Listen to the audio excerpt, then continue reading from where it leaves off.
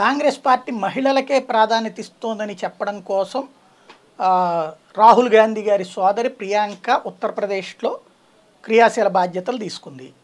అక్కడ తనే మహిళలకి ప్రాధాన్యం మా పార్టీ అంది. పంజాబ్లోనేమో కేవలం తొమ్మిది మందికి ఇచ్చింది టికెట్లు వాళ్ళ లిస్టు మొత్తం మీద.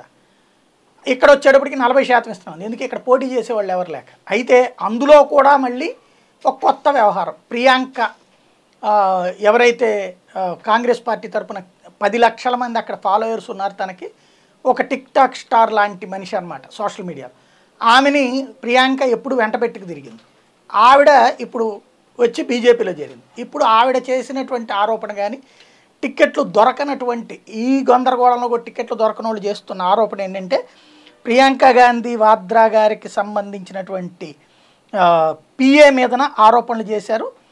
ఆయనకి లంచం ఇచ్చుకో ఇవ్వకపోవడం వల్ల సందీప్ సింగ్ అంట ప్రియాంక గాంధీ కార్యదర్శి సందీప్ సింగ్కి లంచం ఇవ్వకపోవడం వల్లనే ఓబీసీనైనా తనకి టికెట్ రాలేదు.